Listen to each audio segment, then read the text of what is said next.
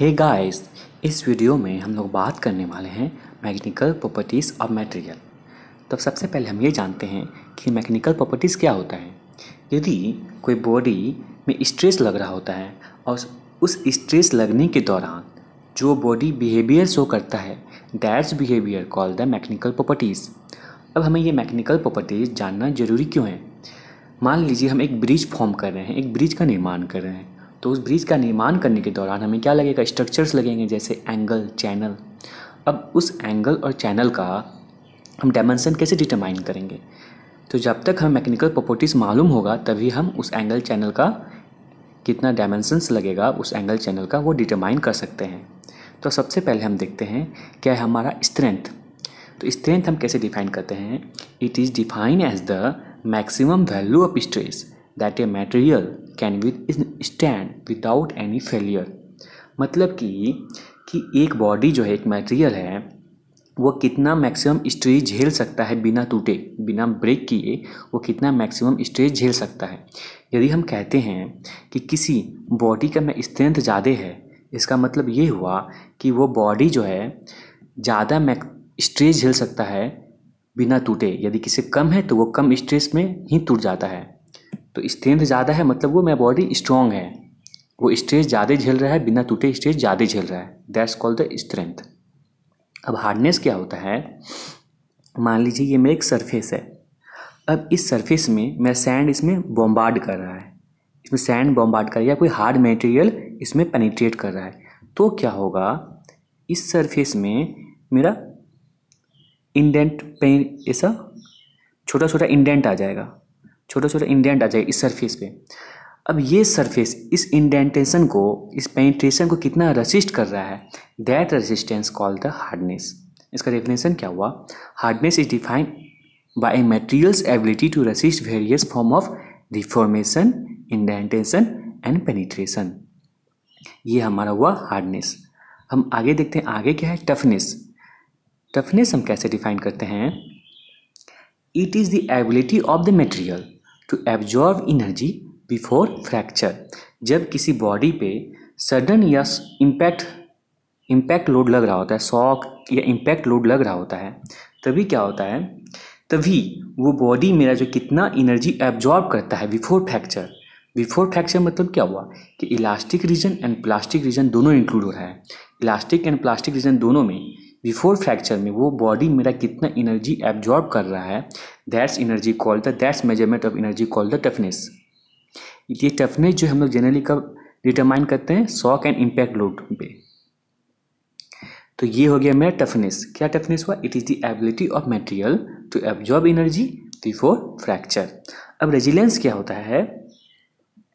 It is the ability of material to absorb energy when it is elastically deformed मतलब कि under the elastic region ही, ये जब वो मेरा बॉडी कितना एनर्जी एब्जॉर्ब करता है दैट्स कॉल्ड द रेजिलेंस वो प्लास्टिक रीजन जाने से पहले under the elastic region only कितना मेरा एनर्जी एब्जॉर्ब करता है दैट्स कॉल्ड द रेजिलेंस अब क्या है इलास्टिसिटी इलास्टिसिटी किसे कहते हैं हम?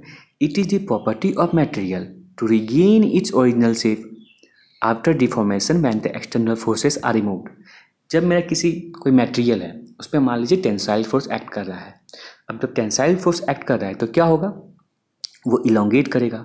अब यदि हम जब वो एक्सटर्नल फोर्स टेंसाइल फोर्स को रिमूव कर देते हैं तो वो बॉडी वो मटेरियल में जब ओरिजिनल शेप गेन कर लेता है रीगेन कर लेता है एंड तो that's property call the elasticity और जो प्लास्टिसिटी है, ये जस्ट इसका अपोजिट है।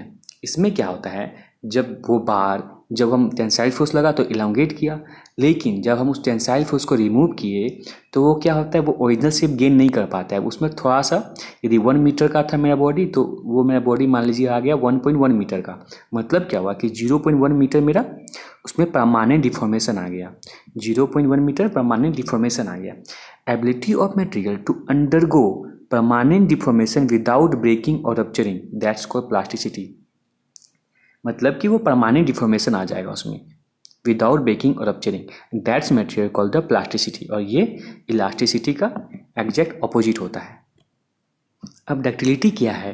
It is the ability of material that how long how long we can draw that material into a wire हम किसी मटेरियल को, किसी बॉडी को कितना, किसी टेंसाइल फोर्स लगाकर हम उसको कितना लंबा वायर में हम उसको तब्दील कर सकते हैं। That's ability call the ductility ductility is the property of material enabling it to drawn into a wire with the application of a tensile force अब यदि एक बॉडी कम या मोर डक्टाइल कहलाएगा, जब उसमें प्लास्टिक प्लास्टिसिटी ज़्यादा होगा।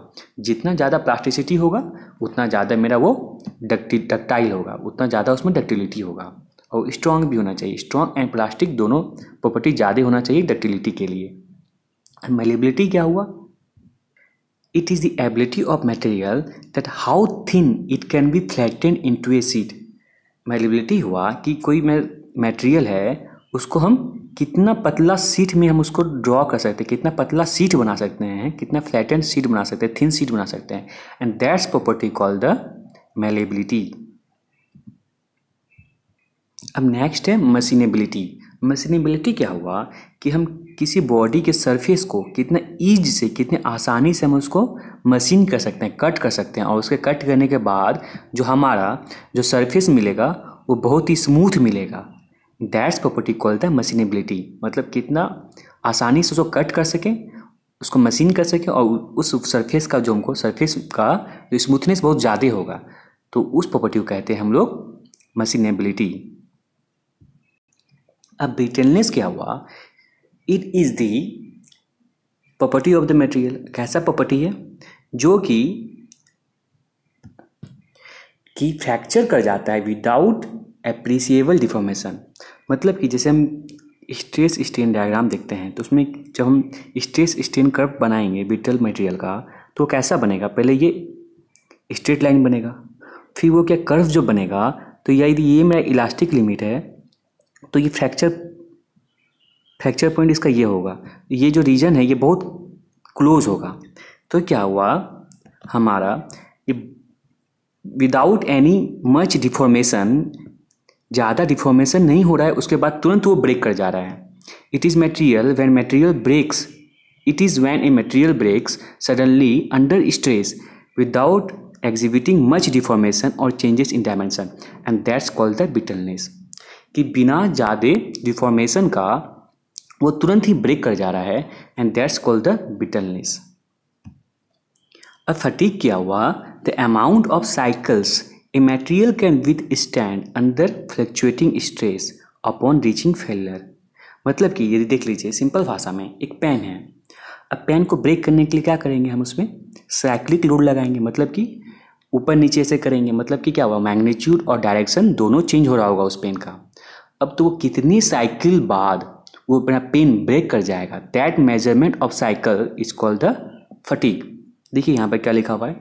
Fatigue refers to the failure of a material under cyclic load prior to reaching its ultimate limit मतलब कितने साइकिल के बाद वो मेरा पेन ब्रेक कर जाएगा। That's the measurement of the cycle call the fatigue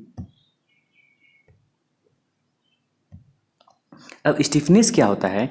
A material's ability to resist significant elastic deformation while loading मतलब कि एक मटेरियल कितना रेसिस्ट कर रहा है डिफॉर्मेशन को। यदि मेरा एक बॉडी है, हम उसमें टेंसाइल फोर्स लगा रहे हैं।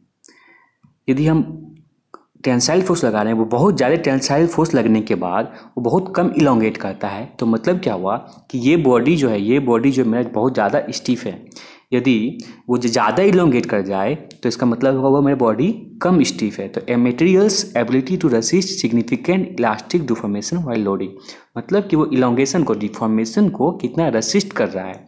And that's the properties called stiffness अब हम देखते हैं क्रीप क्या होता है। क्रीप को हम आसान भाषा में ऐसे समझ सकते हैं कि यदि एक मेरा बेड है, कोई एक बेड है, उस पर हम क्या किए, एक हेवी पत्थर रख दिए। एक हेवी ब्रिक या पत्थर रख दिए इस बेड पे। अब हम एक दो दिन बाद आके देखेंगे तो क्या होगा? इस बेड में कोई डिफॉर्मेशन नहीं आएगा। इस बेड में कोई डिफॉर्मेशन नहीं आएगा। लेकिन वही, जब हम कुछ साल बाद आएँगे तो क्या देखेंगे? ये बेड जो है बेड जो है, ऐसे बैंड कर चुका है। क्या कर चुका है? ऐसे बैंड कर चुका है। तो अब देखिए यहाँ क्या लिखा हुआ है।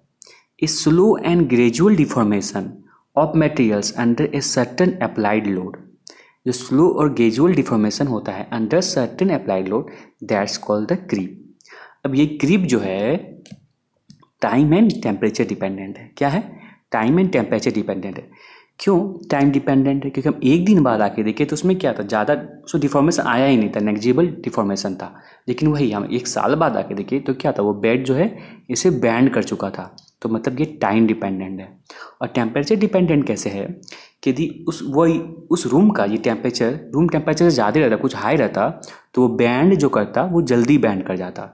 इसलिए ये टेम्परेचर डिपेंडेंट है। तो that's the property call the creep तो धन्यवाद यह वीडियो देखने के लिए। आप इस वीडियो का पीडीएफ डिस्क्रिप्शन में दिए गए लिंक से प्राप्त कर सकते हैं।